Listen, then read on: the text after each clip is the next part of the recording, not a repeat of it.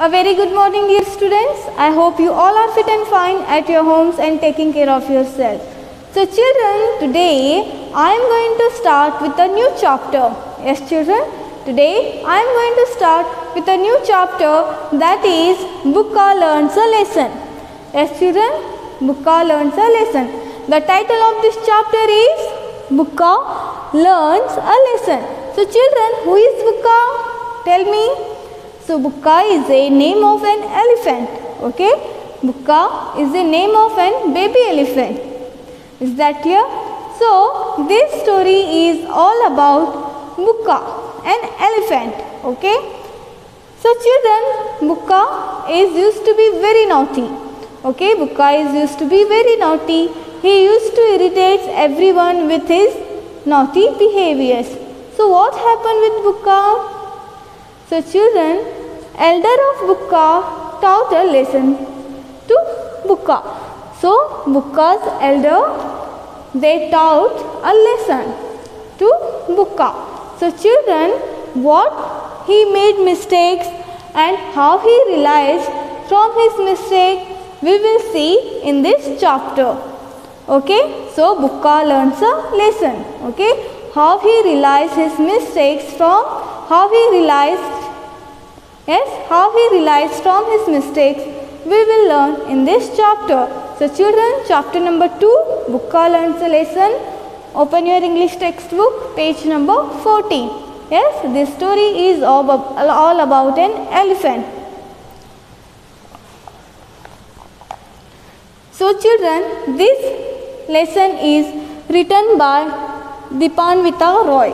Yes, Dipanvita Roy is a writer of is a writer of this chapter Bukka learns a lesson. Okay, is that clear? Before moving to the chapter, let's do warm up activity. So children, look at in this warm up box.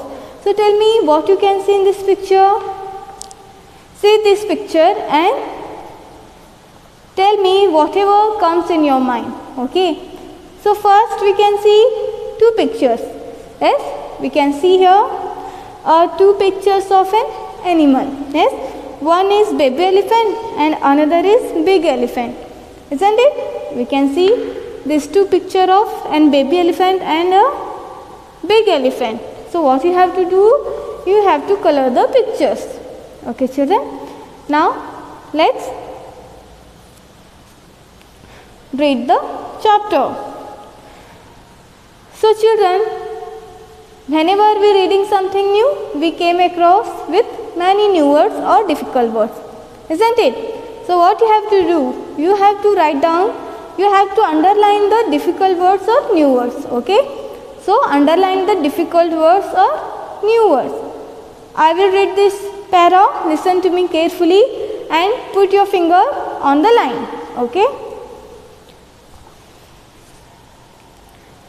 Remember, you are all big animals. The older elephants warn the juniors.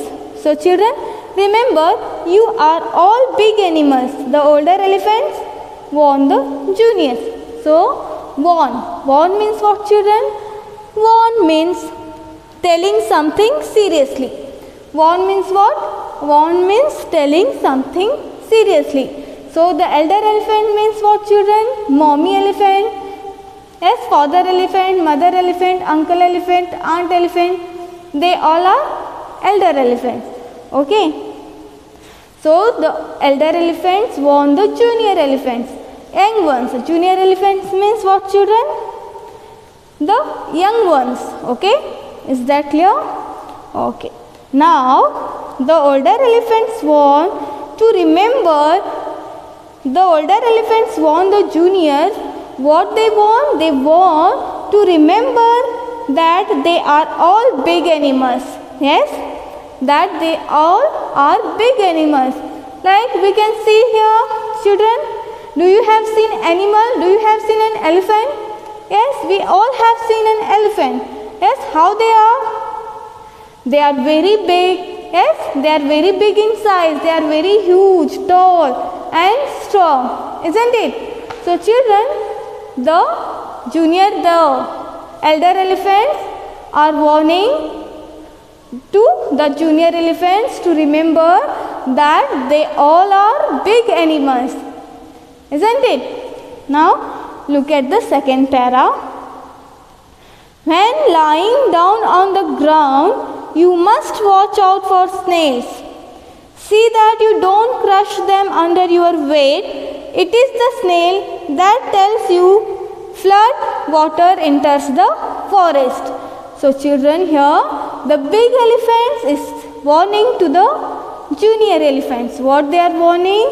They are telling to watch out. They are telling that you must watch out for snails. That you were you must watch out for snails. Snails means for children. Snails are very small animals. Okay. Do you have seen snails? Snails are very small animals. They live in water bodies like tank, pond, then river. Yes, they live near water bodies like river, water, and pond. They have very uh, hard, hard shell on their back, and they move very slowly. As children, the snails move very slowly. So the elder one, the elder elephants warning to the junior elephants that they should must watch snails while lying down. Yes. You don't crush them under your weight. So crush. Crush means to press something very hard till it breaks down. So as we know, yes children, that the animals are very big in size, they are very strong. So the elder elephants warning to the junior elephants, don't crush the snails. Yes, because the snails are very useful to us. Yes children, they are telling the use of snails. It is the snail that tells you when flood water enters the forest. So the elder elephants telling to the junior elephants how useful they are. Yes, they are telling that snails are the one when flood water, they are the one that tells you when the flood water come inside the forest. So children see how useful they are, isn't it? So now the next para. Check to see if there are baby squirrels in the hollows. So again the elder elephants warning to the junior elephants that remember that now you all are big animals. Yes, check to see if there are baby squirrels in the hollows. So what is meant by hollows? Hollows means having a hole or empty space inside. Okay. So write down the difficult word. Hollows means having a hole or empty space inside. Okay.